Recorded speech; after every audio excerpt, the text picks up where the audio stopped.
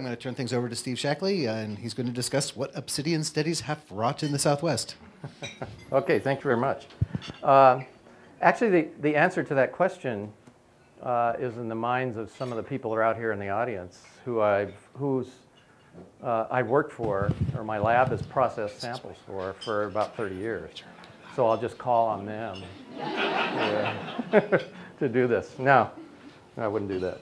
Uh, I have a handout of course, like most of us in academia, we're used now to we're used to uh, PowerPoint and lots of images to hide behind. I can't do that tonight, but I did bring this. So uh, this is like the old days. Uh, those of us that are old enough to remember that. Handouts, yeah, yeah, or overhead projector, that kind of thing. Yeah, that's right. Okay. Uh, so let's start with the, the front side. Uh, so I guess I've alluded to the point that I've been doing this for 30 years for good or for bad. And um, my undergraduate degrees are, are, both in geology and archaeology, but what happened, and it happened to a lot of people, I got turned on to archaeology right away. And so geology kind of stayed in the background until I got to uh, graduate school in the early 80s at ASU. And uh, we did a project called the Picacho Reservoir Archaic Project uh, up by Picacho Reservoir. And there was quite a bit of obsidian in these archaic sites. And uh, the field director, Frank Bayham, said, hey, you're from California. You know all about sourcing obsidian, so why don't you source the obsidian? I said, okay, that sounds like a, an interesting job. So uh, the map on the left, when I started looking into it, were the known sources at that time, around in the early 1980s. So, of course, if you're trying to determine the source of an obsidian artifact, you have to have that data from the source itself. So that's how it all started. So I, you can blame or thank Frank Bayham for that, uh, getting this started. So the other, on the map on the other side, of course, is what it looks like in 2011. So much so that, um, with some exceptions, almost all the work we do, and I'll talk about how we do that work, north of the border in Arizona or New Mexico, there's virtually no unknown sources in the sites. Now, when you get down close to the border, uh, look at northern Sonora, for instance. It looks like there's a big blank there. Well, it's not because there aren't sources there. It's because we haven't found them. And of course, right now, the border areas.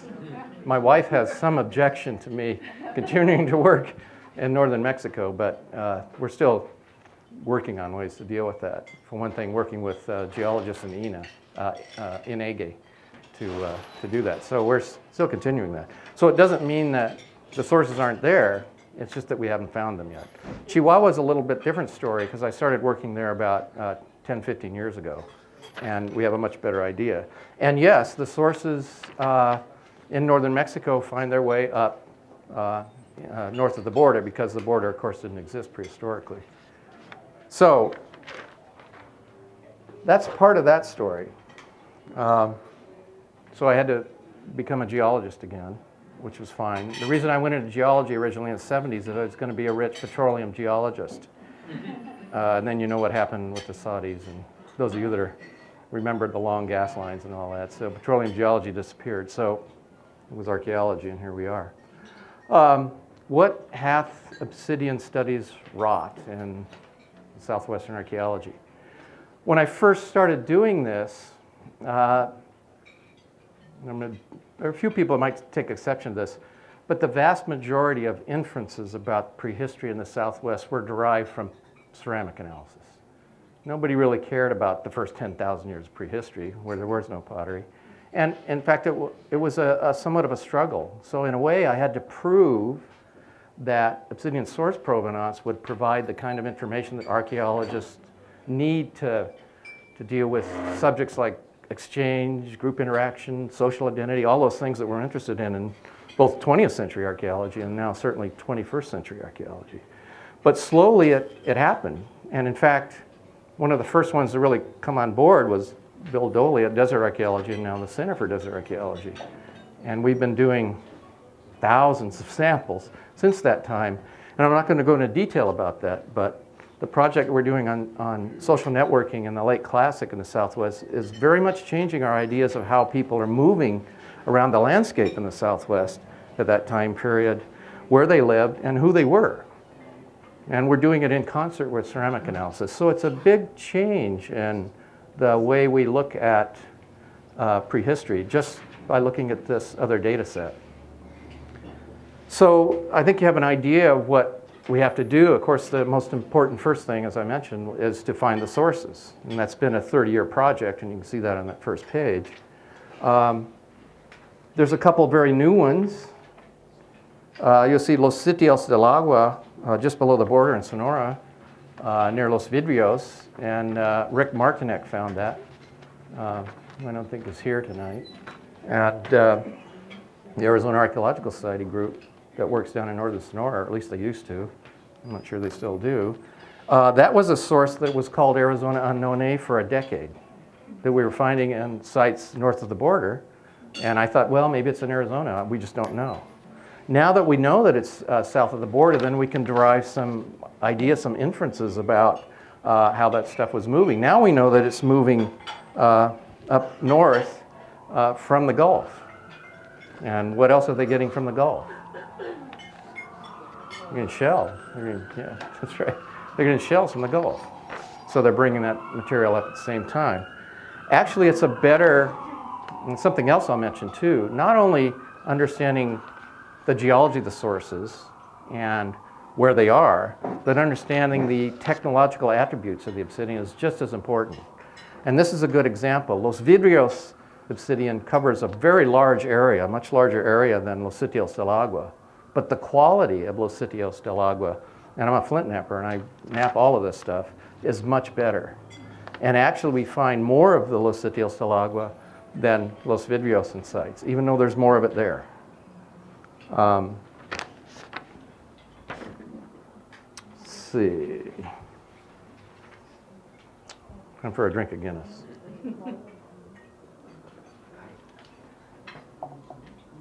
So understanding the location of the source is very important. I mean, it makes sense. I mean, it's perfectly logical. Um, Question, can you identify the obsidian from a particular source? yeah, I will. I'll get to that in a minute, how we do that. Um, that's, that's on the second page. I don't want to get that. You'll remind me, though, if I... Yeah. okay. Um, there's another one that you see it says Nut Mountain. And right north of that, there's a source called Gwin Canyon. Well, uh, that source is dated by Argon Argon to about 22 million years ago. Well, when I first found this uh, in these little tiny marekanites, as you know, probably as Apache tears, and uh, down in Sierra County in New Mexico, I analyzed them, and the chemistry was identical to Gwin Canyon. And I go, oh my God, how did that happen? Well, what's happened is over 22 million years, that source has eroded to the south in drainages that no longer exist. So geologists are very much interested in this right now because they get a pretty good idea what was going on in the landscape in the last 22 million years. Now, what does that mean to us? It gets worse. You, uh, some of you are probably familiar with Valles Caldera in northern New Mexico, in the Jemez Mountains almost all of those sources there, which are fairly recent, about a million to a million and a half years old, some up to two million years old, erode, erode all the way through the Rio Grande to Chihuahua. Okay, now those of you that are interested in exchange and group interaction and those kind of things can see the real problem there. So just because you find an obsidian source at a point in space does not necessarily mean that that is the source. In this case, you have a source that's 500 kilometers long. And what I've been doing in my field schools, my petrology field schools over the years, is mapping uh, all the way along the Rio Grande to Chihuahua, what, where sources are there, the size of the nodules, you can probably see why you need to know that, uh, from Jemez Mountains all the way down south of Socorro. Because if you're working on a Clovis site like Mockingbird Gap that's south of, of Socorro, and you have we have Clovis points that are this big, and they go, well, how come they're so small? that's because they're getting obsidian from the Rio Grande.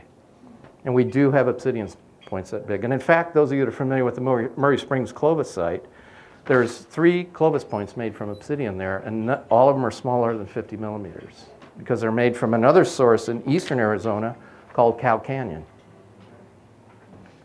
And they were using them at Murray Springs. And in fact, I have a paper coming out soon where it seems that Cow Canyon was a desired material for producing small Clovis points.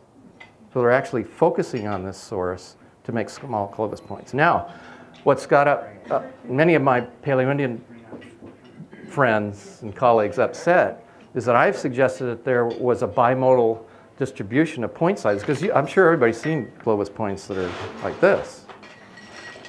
That maybe the large ones are for thrusting spears and the small ones are for atlatls, for darts. Oh boy, they get really upset when they hear that. So that's, that is a possibility. It's one that, and I don't really care. It can be either way for me. You know, it's fine with me. I don't really care. So understanding the distribution of the source, not only the primary source, but its secondary distribution is very important. Now, a big Center for Desert Archaeology project right now is up in Mule Creek, and uh, you can see Mule Creek here, in western New Mexico. And those sources have been eroding for about 17 million years into the San Francisco River and the Gila River all the way to Geronimo, Arizona, at least that far. So even if we find Mule Creek obsidian here in Tucson, which we have, along the San Simon, which we have, and in the Phoenix Basin, they could have got some of it from much closer than Mule Creek. Now I have a, a real apocryphal story about that, and then I'll go on to your question. Uh, at the Pecos Conference in 1995, which was in the Mimbres Valley, there was an archaeologist who will remain nameless, who just finished his master's degree out of uh, San Antonio, I think it was San Antonio or Austin. He, and he dug up a site called Goat Hill Pueblo, which is down in the San Simon Valley. And he derived this, he, he made the mistake of sending the obsidian to another lab. and uh, he, he derived this, San Simon Valley is down near Safford, and he derived this exchange model with the Mimbres up at Mule Creek because almost all of his obsidian was Mule Creek. So after he gave his paper, and later on we were sitting around drinking a beer, and I said, you know, Guile, you know that Mule Creek obsidian is right at your site. And he got this, he turned absolutely white. And, I, and so I said, oh, before you react to that, have you already defended your thesis? And he says, yes, I have. And I said, well, no problem. so that little apocryphal, real apocryphal story uh, gives you an idea of how much work you have to do with these sources, not just the primary source, but and of course you get to walk throughout the Southwest, and I can't think of anything that's better than that. All right. So on the back page, and this is a real project, this is from the project up at Mule Creek, how do we determine the composition of the obsidian and determine the source? Now this is where the geology come, comes in. I did some geochemistry when I was an undergrad, and I run a lab called the Geoarchaeological XRF Laboratory at Berkeley, uh, which is now which is moving to Albuquerque this summer. And uh, the great thing about X-ray fluorescence spectrometry, and I can tell you how it works, although it'd make physicists scream if I simplified it this way. But essentially what you do is you bombard a substance with very high energy, energy X-rays, 50,000 volts, for instance. And what it does is it causes the electrons to move from one orbit to the other. And as they move back into the orbit, or can come from another uh, atom actually, it generates uh, what's called fluorescent X-rays and we measure that.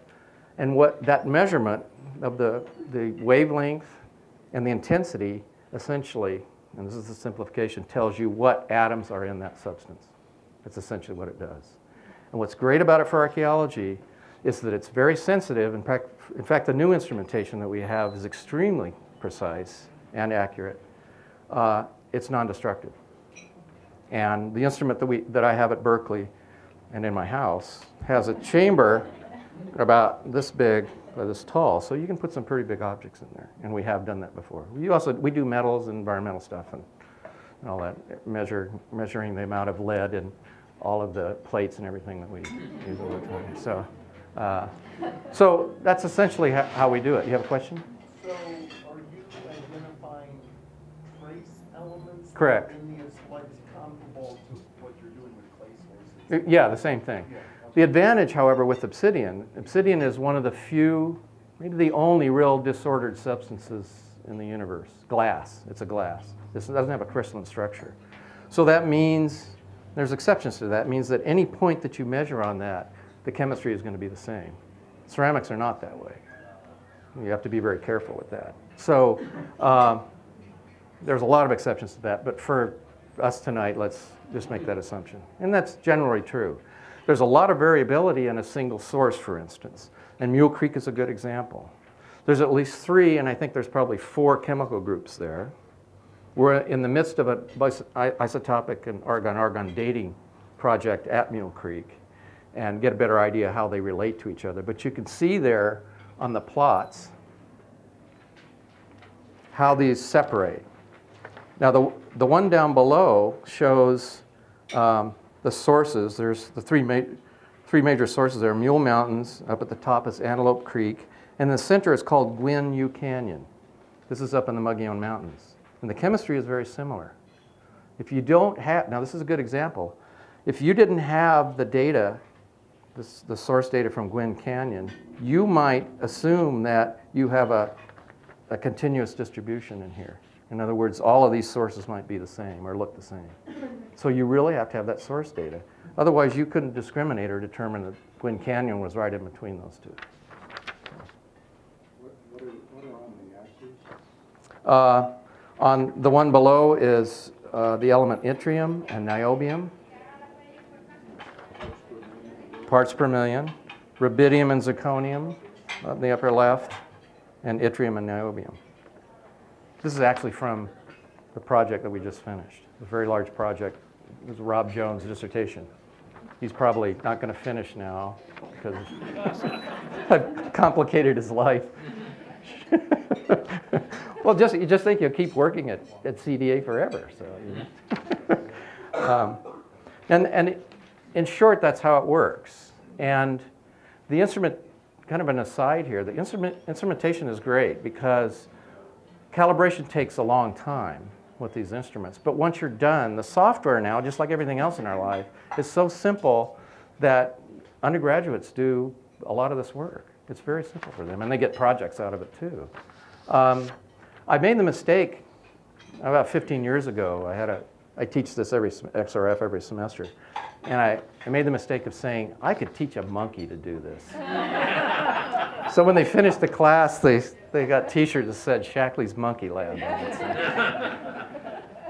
I got in trouble a lot over the years saying those kinds of things.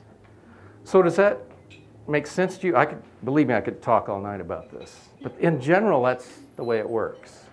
Uh, what's interesting about the Mule Creek project actually is that there were three, three, sites at Mule, three sites at Mule Creek, right, that we looked at.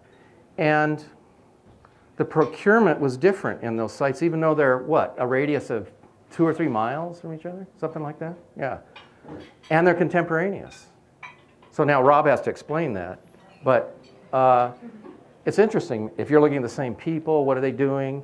Uh, also, um, the, the technological issue, and I think Rob's experienced the same thing, there's three major sources there called North Sawmill Creek, Mule Mountains, and Antelope Creek. And Antelope Creek is the most commonly used, and I find it as a knapper to be the worst of the three. However, it's volumetrically the most common, and I think that's what's, what's really going on. And in fact, at one of, most of these sites, you just walk out into the wash and there, there it is. And I think that's what, what's going on. I mean, it's kind of a uninteresting explanation. But I think that's really what's happening. I find Mule Mountains to be the best, but Mule Mountains is quite a bit farther east, so you have to actually walk to it. So why do that if you've got some right here? I mean, it's kind of simplistic, but people are like that. I always remind students that, particularly hunter-gatherers, and even these people at Mule Creek, everything that they own, they had to carry on their back. I've got a Toyota Tacoma. I can fill this thing with a thousand kilos of obsidian if I want to, and, and haul it into my yard, which I do do. But they couldn't do that prehistorically. So energetics is a big part of this thing. Again, that goes back to why it's very important to understand the secondary distribution of these sources too. Because a flint knapper does not care where he or she gets raw material. You know, if it's right there, oh, right. You know, they're not going, I'm going to really screw with this archaeologist a thousand years from now. They don't really think that way. You know, it's just wherever it happens to be. The guy that digs up your backyard. Yeah, that's right. Yeah. Yeah, we had a backyard down in La Paz in Baja, California that had a bunch of obsidian. So that's another story. So. What are the primary constituents of obsidian? Uh, these Well, it's- Yeah, the primary constituents are silicon aluminum oxides. That would be about 80, 80 to 90 percent.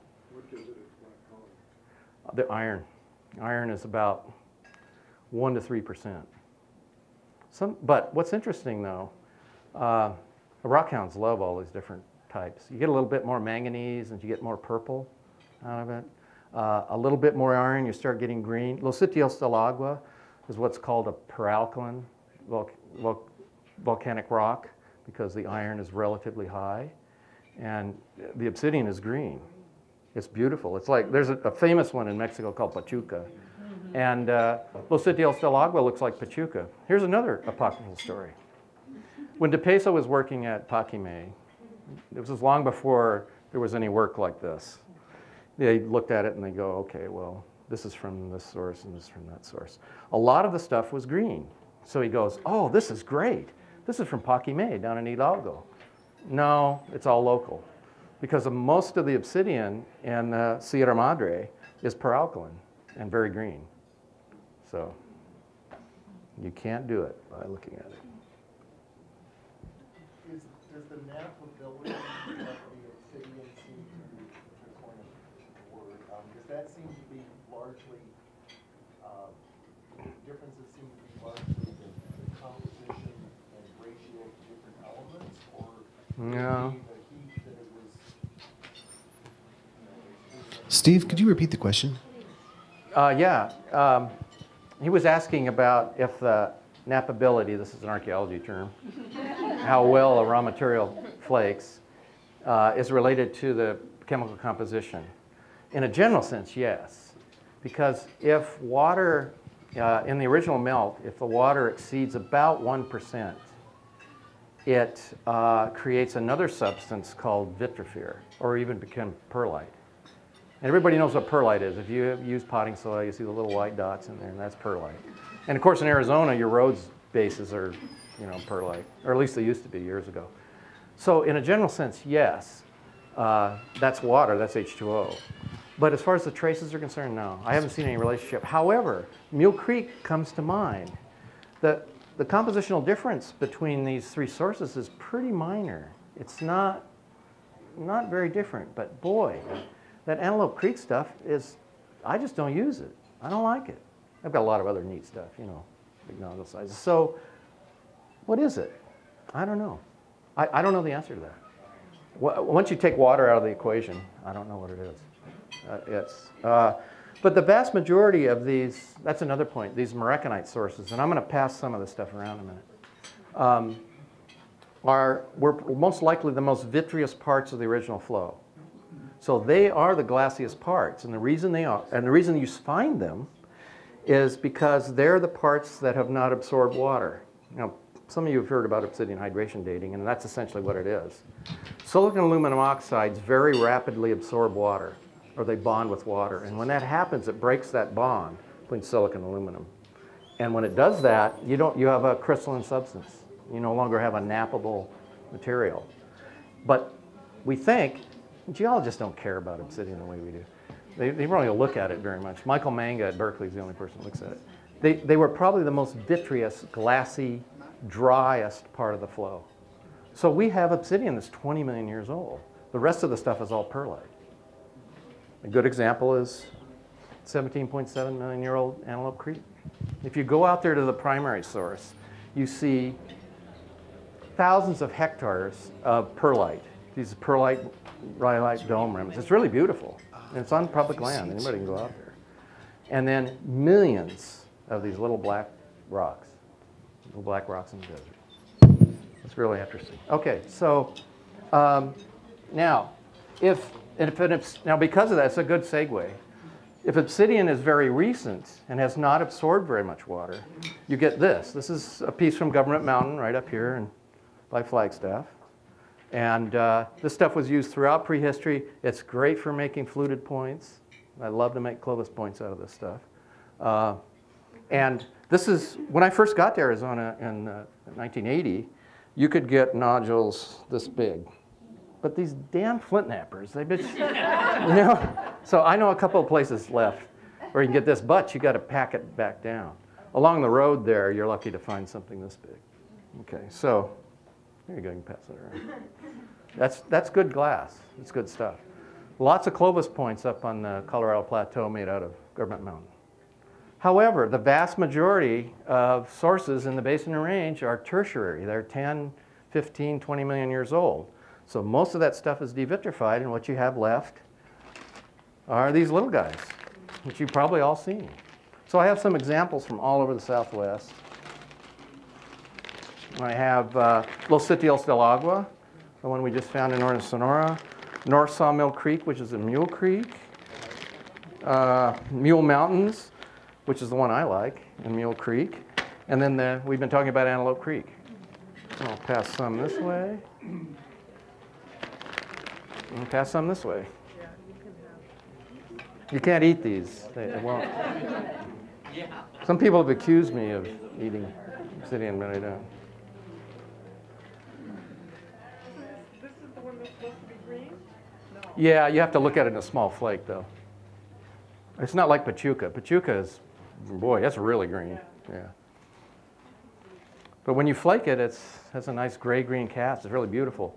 There was one portion there where the glass was green, but a very light green. But the, the pieces were very small. Now, I, I discovered uh, Los Vidrios, well, actually Julian Hayden told me where it was, uh, about 1983. And uh, Todd Bostwick and I went down to the end of Rio Sonoita and followed it back up for all those reasons that I've been talking about. We found Los Vidrios and we collected samples and recorded it, mapped it and the whole thing, and we missed this source. We were within a half a kilometer of Los Sitios del Agua. We missed it. So, you know, even geologists make mistakes. So, but it's a very small source. It's very tiny, you know, compared to Los, Vit- uh, Los Vidrios, which is acres and acres, hectares and hectares and hectares of, of obsidian. It's a, a beautiful area to go down to. Probably now is not the time to be there, but because it's also a, uh, the cartel is using the Rio Sonoita right now too, so not the kind of place you want to use.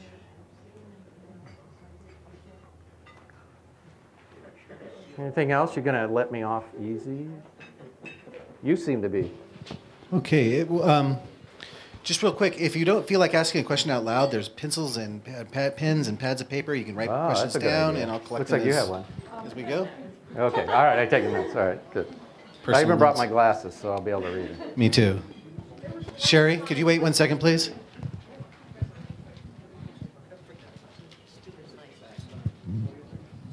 There's one site that had obs- um, rainbow obsidian. Where is that? You mean the source itself? Uh huh. Well, the one I know of is in Warner Mountains in far northeastern California up by Goose Lake. That's the one I know about. Uh, that's, is that, that's not what you're thinking of? I thought maybe it was down in Mexico. Yeah, Well, there probably is. Yeah, there very well could be. Because there was a lot of stuff um, in the Phoenix Basin, I think, that had that um, very rainbow quality to it when I was doing analysis. Did I, did I analyze that? Uh huh. Well, what, where did I say it was from? I don't remember. That's why I'm asking you. I thought you'd, you're younger than me. You're supposed to remember that. Well, uh, well, uh, well, I analyze what about 10,000 samples a year, maybe more because of Center for Desert Archaeology. So, uh, so even even though I'm not very much younger than you, I uh, and I don't remember. But I don't. Uh, the the Mexican sources would be uh, that we see very much in southern Arizona and well a little bit in southern New Mexico is Sierra Fresnal and Chihuahua, but that's not rainbow. Uh, what do you mean by rainbow? Was it banded? Is banded? So when you look at, you hold it up to the light and it looks banded? Anywhere there was a cut or a hit would have a rainbow. Oh, okay. Well, that, that's, that's a character of glass itself. You can get that with a window glass sometimes. You break it. You know, I, I live in Berkeley and, you know, the, a lot of people go by, well, it's Arizona, you know, go by with guns and they shoot windows out and all this kind of thing. And those, those are actually called Hertzian cones. And, and if you find the pieces of them, you'll get a prismatic effect in, in that, and it looks like a rainbow. That's the only thing I can think of. Well, there was a huge piece at the Gem and Mineral Show a few years ago, and it was carved into a butterfly. Wow, that It sounds definitely rainbow. Did, did, did, And it was from Mexico. It was from Mexico, I huh? don't remember. I don't think it's the sources in northern Mexico. I mean, there's a lot of obsidian sources down in Mexico. So, uh, but there is a one that has a rainbow effect up in Warner Mountains, and I have some in my yard in Albuquerque, but I didn't bring any with me. So. Yeah, I like it too. Yeah. Do you source other, like Paleo-Indian quarries? I'm wondering whether you do other materials besides obsidian, uh, Paleo-Indian Uh-huh. quarries? I, I have a uh, paper like- coming out in uh, J- Journal of Archaeological Science pretty soon on a dacite in northern New Mexico. And the late paleo groups, particularly the Folsom, were using this dacite, which is not, you, when you looked at it, it looks like basalt. It's been called basalt for years, but it's not. It's dacite. It's more silicic like rhyolite. And they make these beautiful Folsom points out of it, uh, as well as uh, Alan Frederick and all that late stuff, late Paleo-Indian stuff.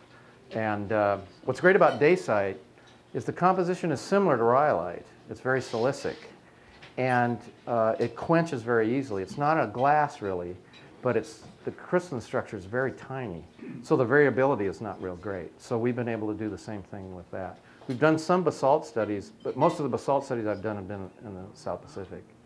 Uh, what's great about that is that stuff gets like 3,000 kilometers or 5,000 kilometers because you got an island here that has the, the source, you know, and it, and uh, and the stuff in Hawaii actually is crap. It's not very good. Hawaiite's not very good basalt, but some of the stuff farther south, yeah, crap is. yeah. There's a lot of yeah terms that I couldn't say in public. Why have you come- focused on city? well, there's a couple of reasons. One is the geological reason is that it's homogeneous, and you don't have the problems you do with ceramics. You don't have this variability in it. Um, it's not completely true, but compared to crystalline material, yeah. Uh, and it's all over the Southwest. And it has a, well, let me back up from that a little bit. I mean, there, I've, I've worked in Mexico too, in central Mexico, and there you have these full-time specialists that are producing uh, blades. They're producing these blades from sources great distances. And you, you look at some of these households, and there is a pile of obsidian from one source behind this guy's house that's like this high. Um, I find that to be boring, really. You know, I'm more interested in the Southwest where it's not a major constituent of this. How, how much, what's the proportion, Rob, in these sites? Do you know? Of obsidian? Mule Creek's a little strange because it's on, it- there's so much available. Yeah, so much available. That's probably not a good one to use, but But in general, way less than five percent. yeah, and often less than 1%. Yeah. So it's a, it's a, it's a rare event geologically in the Southwest, and it's a rare event as far as using it. And that has some interest to archaeologists, like why? Why are they importing this raw material that's 300 kilometers away? You know, we've seen 500 kilometers in the Southwest. You know, the, the big piece of government mountain you're seeing, we find that stuff all the way down to the border, at least. Uh, so a great distance away, but then it makes sense, well, you got a big chunk. Um, this, the Valles rhyolite or Cerro del Medio source from the Jemez Mountains is distributed throughout North America. My graduate student, my former graduate student, Carolyn Dillian, found one in a beach site in New Jersey. She found a, a little piece of debitage and also complete projectile points. Um, she has one from the Black Rock source in Utah, in New Jersey, and the point type would fit right in with the Great Basin point type. Now, now start thinking so, socially how that, how long that took to get from Utah to New Jersey. It's, uh, it wasn't some guy so, wow, I'm going to take a trip. I'm going to New Jersey. You know, I don't, I don't think that's the way things work. You know, we, we've used this term down the line exchange for years and years in, in archaeology, and uh, it's, it's a lot more interesting than that. Uh, there's a time period in the Midwest called Hopewell, which you might be familiar with, that really focused on obsidian. Um, sites are full of it, but when you get to the Mississippi and later, it's gone. I mean, just, it's not there at all. And when you do find it in the Mississippian sites, it's just a few pieces. It's from Mexico. It's not from Western North America. So something happened socially there. The relationships with the Western North America disappeared in the Mississippian period and went south. But when you look at the artifacts, you look at the objects, Mississippian objects, they really, especially the, those beautiful carved shell gorgets that are about this big. I mean, they, I mean, I hate to do this as an archaeologist, but they really look Mexican. They really do. It's really amazing. So it makes some sense. Did you have a question? Yeah, uh, you were saying that there was local variation, trace variation Hmm. in the obsidian. Have you found any sites where the trace elements seem similar, where you can't tell from one Ah, site to a good- another? Yeah, that's a good one. The, the Nut Mountain case was one that really confused me for a while because um, you can see on that map, Nut Mountain is considerably south of Gwyn and Ute Canyon where the primary source is. And, and it's 22 million years old. The drainage systems don't go down there directly now, but they did 22 million years ago. So they were draining down in that direction. So in that case, it was pretty confusing. I haven't reported this thing yet because I'm waiting for the argon-argon dates. If the argon-argon dates come out different, I'm in trouble. Uh, because we have this, what, what the, we call it imposters. And you have the first source you find, and then you find another one later, and the chemistry is the same. Uh, but I will tell you now that the um, strontium and neodymium isotopes are different between these two, so I'm a little worried with the argon. So now we have to explain it if that occurs. Now, what does that do for archaeologists? So you think you have Gwen U Canyon in your site over in West Texas, but which source is it from? And if we can't discriminate it. So if you really need to, to do it, you're going to have to pay a couple hundred dollars and do the isotope work. So that's a real problem. But, they, but the shorter answer is very rarely. Um, and there's, there's some geochemical reasons for that. One of it has to do with the fact that it's a disordered substance, that it's completely, there's no crystalline structure to it, which means in general, the chemistry is not going to change over time. If you have crystalline structure to it, as uh, the crystal metamorphoses, for instance, it changes its chemistry, which is a real pain when you're dealing with things like chert, something like that. That's why I don't, it goes back to your, I guess your question, why I don't deal with chert too much. Um, that's one of them. The other one is when a rhyolite dome erupts and that material is quenched into a glass, it occurs in a very short period of time. So there's not enough time for what we call fractionation to occur chemically in that reaction. Um, not, not enough time for wall rock re- reaction to occur, bring in something else into that. It happens so fast because this stuff quenches in a few days. If you slow it down too much, you're going to get rhyolite. And if you take 10 million years, you're going to get the Sierra Nevada. It's all the same. It's all the same chemistry. You obsidian, rhyolite, and granite are all the same thing. It's just cooling rate. That's simplistic, but that's technically the, the case. So uh, we're really fortunate. It's the, that's why I use this stuff. I mean, it's thank God I work in the you know the, the Pacific Rim area where there's lots of obsidian. And of course, there is that weird Yellowstone, the, the hotspot area. But yeah, Actually, we have a question over here next. okay. Um, this might be for some of the audience members rather than you, but what kind of behavioral questions are people asking and answering with this? I mean, it's it's one thing to say, well, we found this from this source Right. 2,000 miles away, but are people getting into a lot more uh, fine-grained Oh, yeah. uh, questions Yeah, about even me, you know, they've, my post-processual colleagues have sucked me into it. Um, uh, I have a, a book that came out in 2005 through U of A Press called Obsidian Geology and Archaeology of North American Southwest. Chapter seven, I think, was on the pre-classic Hohokam, which is a time period I'm particularly interested in. I don't care about that classic stuff. And uh, although they're sucking me in on that stuff too. But uh, a grad student colleague of mine, Chuck Hoffman at ASU, began to look at the morphology and what he's calling style of pre-classic Hohokam projectile points. Now, a lot of people have seen this. I mean, those pre-classic Hohokam knappers were really good. Uh, you know, old guys like Don Crabtree replicated them. I mean, they're just beautiful. And a lot of them are found in burials too, but not all of them.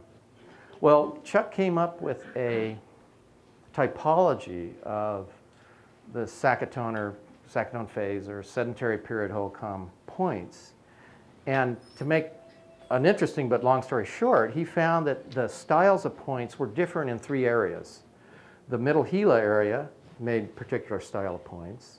Over by Gatlin, over by the Gila Bend made a, another style. And then the Phoenix Basin made a, a different styles of points, all contemporaneous. And, uh, but he didn't, he didn't characterize and determine the source for any of the obsidian. And I go, wow, this is really interesting. Let me back up a little bit.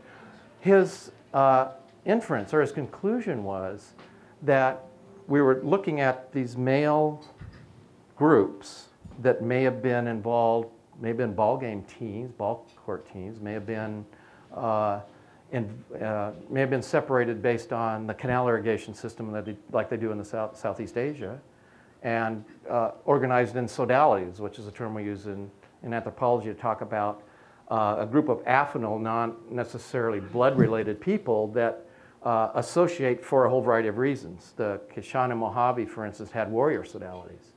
And they painted their bodies in specific ways to show their membership with these sodalities. And I think Emil Haury knew that. If you look at the 1967, uh, I think it's 67 National Geographic on uh, Snaketown, look at the ball players. And so I usually do this with PowerPoint, and you can see all this. So you just imagine this. A lot of people probably here have seen that issue. Look at the ball players. Well, the two teams have different uh, body painting. That body painting is identical to two different sodalities among the Mojave that he probably got from the Kroeber and Kroeber book on Mojave warfare. So I'm beginning to think, hmm, that's really interesting. But he didn't characterize the obsidian. And boy, they made a lot. Pre-classic were using a lot of obsidian to make points. Uh, a lot of stuff. You know, Las Colinas, La Ciudad, sites here in the Tucson Basin. Uh, pretty amazing. So I said, okay, well, I'm going to go back to those same points. A lot of them were at ASM here, and analyze the source provenance, where they were from. Well, what I found was in the those three areas that made different projectile points, they were using completely different sources. They weren't, with some exceptions, they were not using sources from the other areas. There are some exceptions to that that I'll get to in a moment. Uh, the Middle Gila, for instance, like Snaketown, we're using mostly Superior, Picket Post Mountain, which is close, it's nearby. So I said, okay, well, that makes sense. Right? So I went over to uh, the Gatlin side and over Gila Bend, and I look at those, and they were using mostly Sauceda and vultures, mostly Sauceda and sand tanks over there. I go, well, this makes sense, kind of boring. I mean, they're just, you know, just using sources that are nearby. Well, then I started looking at the stuff in the Phoenix Basin. And it's completely different. Half of the material that they were getting was from the Colorado Plateau. And not only was half of the material from the Colorado Plateau, that obsidian, but the point types were not Hohokam point types. They were Cohonina points. They were very different. Or Sinagua, whatever you want to call them up there at that time. Um, so, okay, so we have this data. We know that it's very different. They're making different, they're differentiating themselves by the point types. They're using different sources. They're not made together, but they're all Hohokam. And when I was an undergraduate, here's this, here's the pre-classic Hohokam. It's this homogeneous They're all making red and buff pottery. And if you're familiar with Dave Abbott's work, well, maybe not everybody was making red and buff pottery. Um, so how would they, how do you explain that?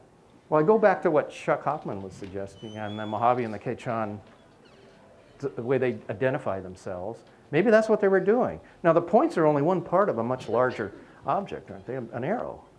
So, and the arrow probably was, was decorated in very specific ways, showing membership in a sodality or some kind of membership.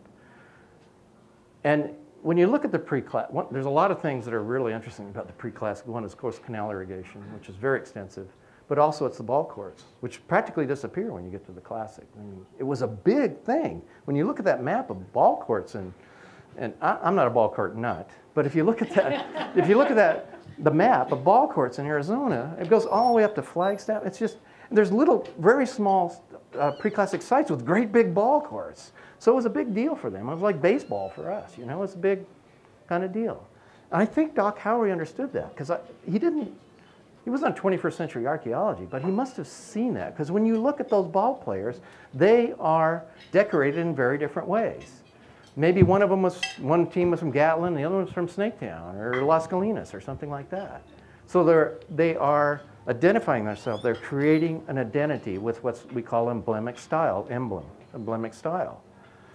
Now, Obsidian was able to shed a tremendous amount of light on the Obsidian source provenance, as well as the projectile point um, technology, uh, the projectile point style. Were very different. Now, I'm going to talk about pottery for a minute. If what Dave Abbott and his graduate students are saying up at ASU is that the vast majority of, of Sacaton red and buff pottery was produced in only two or three sites along the middle Gila and then distributed throughout.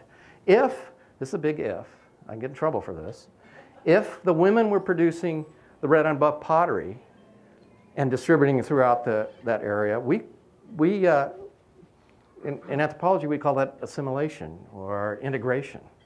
The men were doing the opposite. They were differentiating themselves. Now, this is all one society. So even, even if it's not women and men, but it's kind of neat if it was, it's more interesting if it was women and men. Because Judith Habicht-Mauche suggested that, well, why couldn't the men be making the, the decorated ceramics and the women making the, the, the plain wares? Well, it doesn't make sense to me, but nevertheless, that could be. Well, maybe the women were making the, the neat points and the men were making the ugly ones. I don't know. but, but nevertheless, there's this social differentiation that's occurring within one society. And when you look at the, the Phoenix Basin, maybe they, they weren't even exactly, they didn't identify themselves completely as Hohokam because it seems that they had just as much of a relationship with the people up on the plateau as they did other Hohokam. And there is a ball court, was it up in, uh, it's the farthest northern one, Wupatki, yeah. And that's where they make those points that look just like the ones at, at Palo Verde Ruin in Phoenix. So source provenance, I mean, it's neat to say, yeah, it's from over there or something. We used to use this term exchange. I just hate that word now. Because more and more what we're finding, both not with just the work that I'm doing, but what we're doing with ceramics, we're finding out that the stuff is not moving. It's the people that are moving. I mean, when I was when, I, when I was working at La Ciudad in, what, 82 or something like that, you find black and white pottery. Oh, God, look at this was exchange. Now we're finding, because the work, a lot of the work that they're doing at CDA and what Dave Abbott's doing, with petrography as well as chemistry on the ceramics, they're finding out that they're making the black and white stuff down here out of local pottery, local clay. So what does that mean? Well, it means these people are moving this way. And what we're finding with the obsidian source provenance that it, well, it moves right along with that you start finding that stuff from up there down there. So pretty, pretty neat. So social identity is, identity is something I'm really interested in in that time period. When we look at uh, the Paleo-Indian stuff, well, I'm doing that along the Rio Grande, we found, I'm interested in, in what call, is called procurement range among hunter-gatherers, not territories.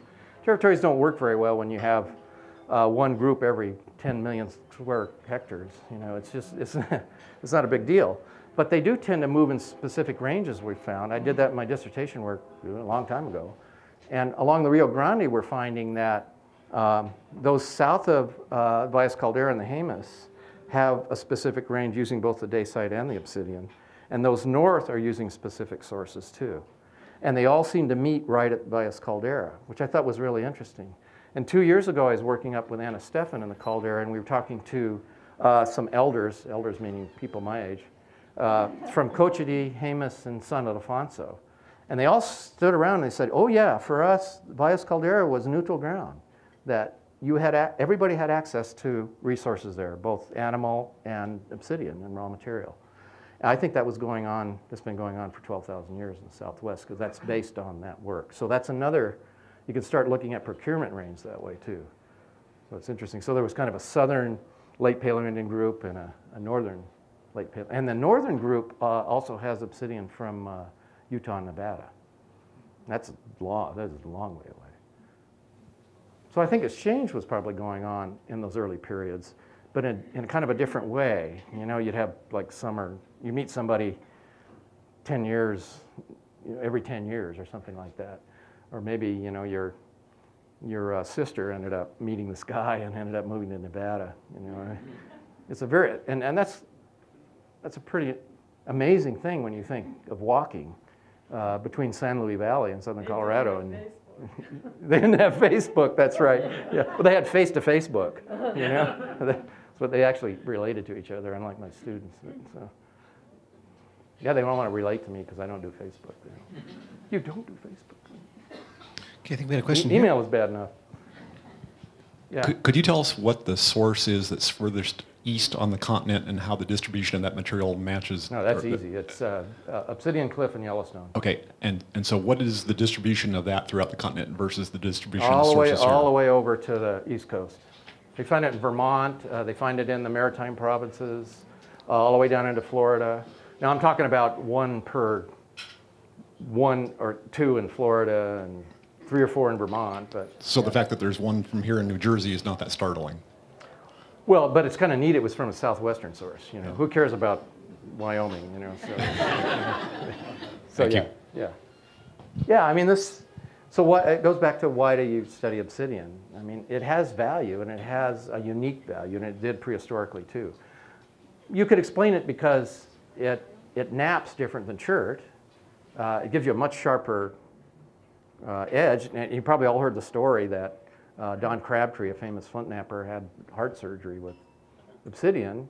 Uh, they used to, they, but they used, uh, Jeff Flenniken used to make blades for optical surgery commercially, but now they don't do that because they have laser. Uh, and the reason is it's such a sharp edge, it, it would cut between the cells rather than cut the cells. So I, and you know, prehistoric knappers knew that. I mean, they knew it experimentally. I mean, they were their first scientists. I mean, it was all experimentation. Um, so there can't be any more questions. Question back here?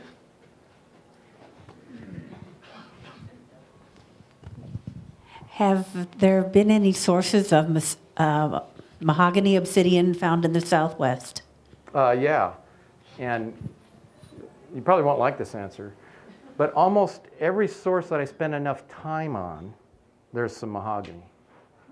Government Mountain is a good example. But Government Mountain is kind of funny. The mahogany is just on the, on the cortex on the outside.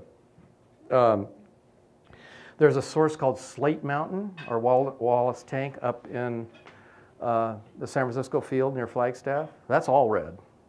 You don't see it archaeologically because it's what we call vitrophyric. It has a lot of sanidine phenocrysts in it. And so it's not, it's not the great raw material, but you do find it every so often. There's a lot of red up there. And that, boy, the Lapidaris and rockhounds have destroyed that source. But there's quite a bit of red up there. Um, that's the major ones. There's something in the back of my head. The one I use is the one in Warner Mountains up in northeastern California because I can get nodules this big. And it's also what's called a needle source commercially. Make these long, um, that are per- perlite needles, what they are. I mean, the perlite is all around it. And they use it for making uh, wind chimes and earrings and stuff like that. And they don't care about the nodules. So I just go up there and back up my pickup. And I say, hey, I'll get rid of all these for you. And they're just after the needles. Uh, but that's beautiful red stuff. The other famous one is Glass Buttes, Oregon. And you see that stuff all the way over to the East Coast, too. Uh, we haven't found the, uh, wall, the Warner Mountain stuff that far east, but I particularly like it. It's really great for making large bifaces. That's really all I care about is flint knapping. That's one thing that I did for my dissertation is uh, somebody asked about quality. I don't know who it was here. Um, each source, I uh, attempted to produce uh, an obsidian Chiricahua point. It looked like Chiricahua, side notches. So there's a little bit of technology involved. And that's how I evaluated the quality. It was that way. So each one of those, I've got points from each one of those sources. Well, I've given a lot of them away now, but um, so I know, yeah, I know that Los Vidrios is crap. That's another geological term. It's crap, and that Government Mountain is good. And uh, all of these sources have good stuff that's a little bit better than others. I still haven't figured out the Antelope Creek thing. Uh, you know, I use bipolar. Bipolar reduction is where you have a small or very large, but a very tiny piece. You could go ahead and do it this way, but you're going to lose a thumb. But you can put it on an anvil like this, and you can break it open very easily. And you do that with Antelope Creek stuff, and it explodes.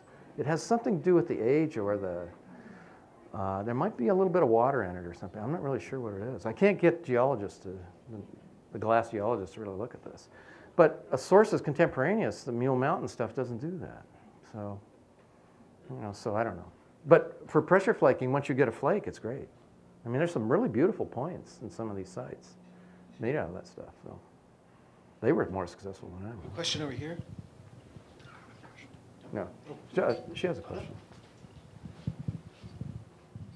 Um, in Mesoamerica, of course, obsidian was really big. It was Yeah, big deal. yeah. a much bigger. It was a deal. commodity. You could, you I could mean, call it it a was commodity. o- the oil of, of The yeah. Mesoamerica. And, Well, even jade and everything. uh, well, and jade too, until they ran out. But um, that, I mean, what kind of cultural difference would there, there be, do you think, between a society that, you know, used, had much more pragmatic use, it seems. You mean like here? Yeah, like here, and, and something, I mean, they did use it for practical things a lot, but, I mean, they weren't doing that many more practical things than, than uh, in the Southwest, and it, it's, you know, they were crazy for it. Well, there is, there is something similar, and it's in the classic period I've seen. This will kind of answer your question. In Mesoamerica, a lot of the production, particularly in the Maya, in the lowland Maya area, a lot of the obsidian production is in the elite houses. Now, so they were either part of the elite or they were being paid well to do this stuff. They're, it's like, you're a really good knapper, come on in. You know, here they just laugh at knappers, but in our society, but back then it was a big deal. So, you know, they did something with it. But uh, there's a couple of classic period sites. Uh, Marana is one.